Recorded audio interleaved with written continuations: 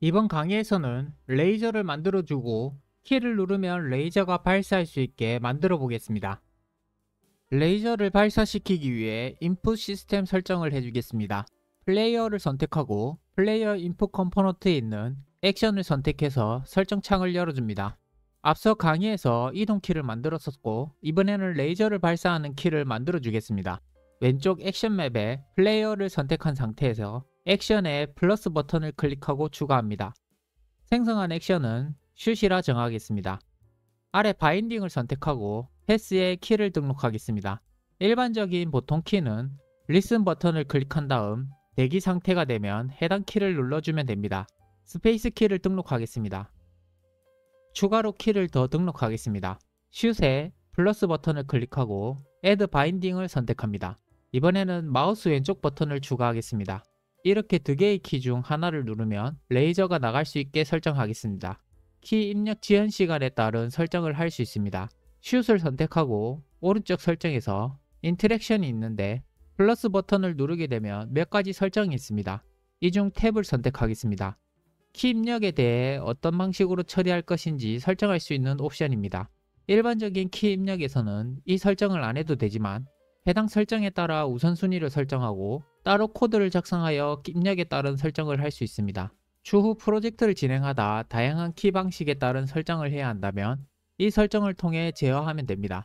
우선 이런 설정이 있다는 것만 기억하시면 됩니다. Action Type은 Button에서 Value로 변경합니다. 이번에는 레이저를 추가하겠습니다. 이미지가 있던 폴더로 이동하겠습니다. 11번 이미지를 드래그하여 Hierarchy 창에 등록합니다. 그리고 아래 쭉 내려서 79번 이미지도 등록합니다. 이 두 개의 이미지를 레이저로 사용하겠습니다. 확대해서 확인해 보면 크기가 다르기 때문에 비슷하게 맞춰 주겠습니다. 79번 이미지를 선택하고 Transform의 스케일의 Y 값을 2로 변경하여 크기를 맞춰줍니다. 11번을 플레이어 레이저로 79번을 Enemy 레이저로 이름을 변경합니다. 레이저를 이동시켜야 하므로 컴포넌트에 추가하겠습니다. 이 두 개의 오브젝트를 선택하고 Add Component 버튼을 클릭합니다. Rigidbody 2D를 선택하여 추가합니다. Gravity Scale 값은 0으로 설정하고 Freeze Rotation에 체크합니다. 충돌을 담당할 컴포넌트를 추가하겠습니다. Add Component 버튼을 클릭하고 Box Collider 2D를 추가합니다. 이 Collider는 충돌을 감지하는 매우 중요한 컴포넌트입니다. Collider의 영역을 설정해야 합니다. 보통 오브젝트의 크기만큼 자동으로 설정되지만 그렇지 않은 경우도 있기 때문에 확인을 해줘야 합니다. Edit Collider에 버튼을 클릭합니다. 그럼 이와 같이 초록색으로 테두리가 생기는 것을 볼 수 있습니다.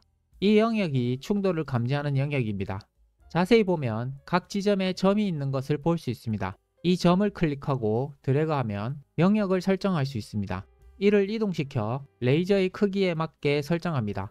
Enemy 레이저도 동일하게 Collider의 크기를 설정합니다. 완료되었다면 Prefab 폴더에 Prefab으로 만들어 추가합니다. Prefab으로 만들었다면 Hierarchy 창에 있던 오브젝트는 제거합니다. 레이저가 이동할 수 있게 코드를 작성하겠습니다. 새 스크립트를 생성하고 이름을 레이저라고 정하겠습니다. 스크립트를 열어줍니다. Inspector에서 설정할 수 있게 public으로 선언하겠습니다. SerializeField로 설정해도 됩니다. Vector2의 변수 Direction을 작성하고 위 방향인 Vector2의 up으로 초기화합니다. Enemy 레이저는 아래 방향이기 때문에 Inspector에서 이 값을 변경할 것입니다. float 변수 스피드를 작성하고 15로 초기화하겠습니다. 이 변수는 레이저의 이동 속도입니다. Rigidbody 2D에 접근해야 하니 해당 변수를 작성하겠습니다.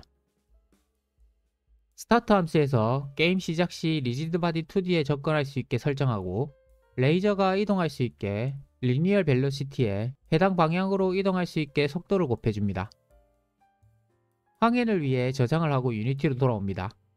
레이저 Prefab 두 개를 선택하고 레이저 스크립트를 추가합니다.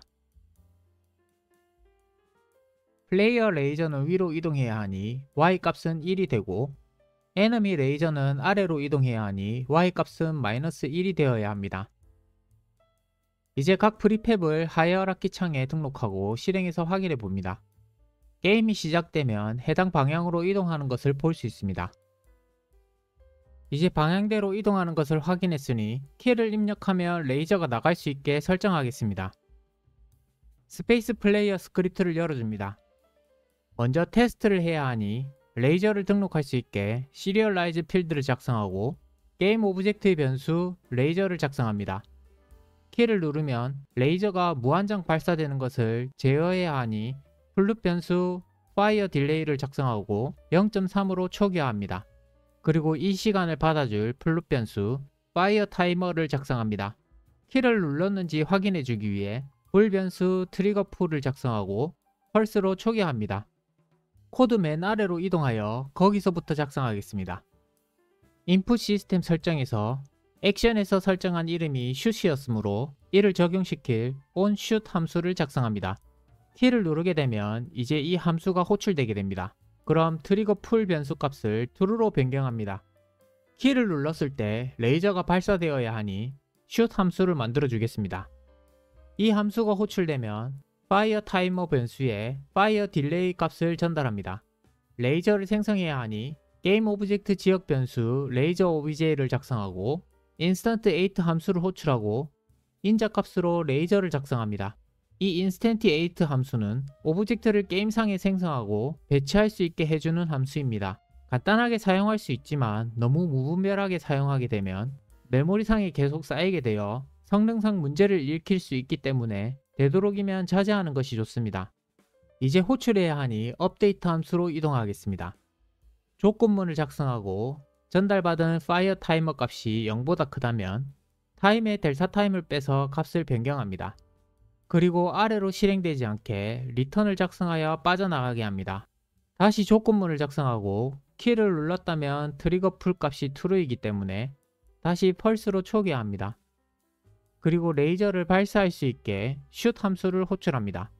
저장을 하고 Unity로 돌아옵니다. 레이저 object를 등록해야 하니 prefab 폴더로 이동하여 플레이어 레이저 prefab을 드래그하여 등록합니다. 이제 실행해서 확인해 봅니다. 키를 누르게 되면 레이저가 생성되고 위로 이동하는 것을 볼 수 있습니다. 이렇게 레이저를 발사하는 기능을 만들어 보았습니다. 다음 강의에서 뵙도록 하겠습니다. 감사합니다.